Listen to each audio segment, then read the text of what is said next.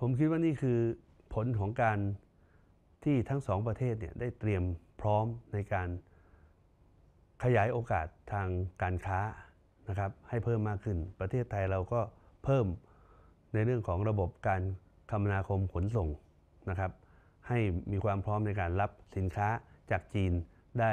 รวดเร็วมากยิ่งขึ้น มาจากทั้งทางทะเล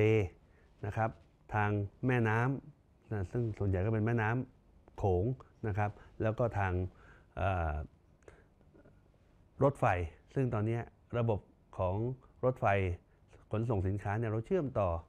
จากประเทศไทยสามารถไปเชื่อมที่ลาวแล้วก็เข้าสู่ประเทศจีนได้ สิ่งเหล่านี้ก็คือความความพร้อมในการขยายตัวทางการค้าระหว่างสองประเทศ ตรงนี้เป็นสิ่งที่ที่ด้วยพื้นฐาน ความสัมพันธ์อันแน่นแฟ้นนะครับของไทยและจีนเนี่ยเป็นปัจจัยสำคัญเป็นอันมาก เพราะว่า